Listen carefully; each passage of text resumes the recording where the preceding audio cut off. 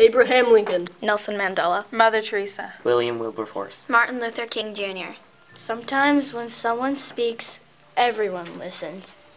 But sometimes there are issues that people don't want everyone to hear.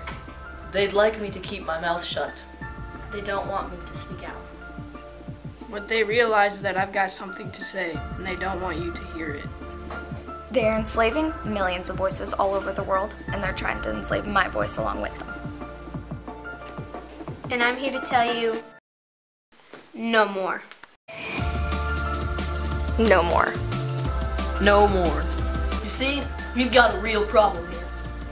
There are over 27 million enslaved all over the world.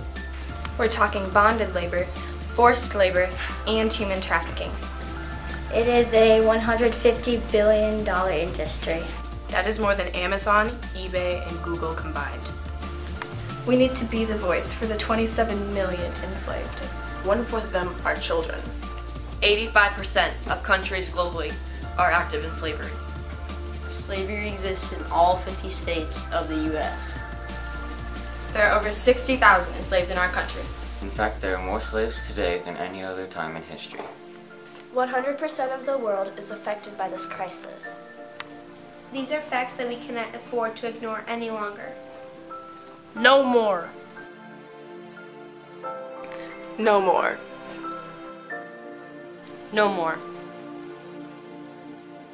27 million voices suppressed, shut out, silence. It is our responsibility from God to speak up for them. Be the voice. Be the voice. Be the voice. Be the voice. Join us and take a stand. Be the one who speaks out for those who don't have a voice. Together we can rise above slavery and put an end to it. Together we can affect justice and change the world. It begins with one voice.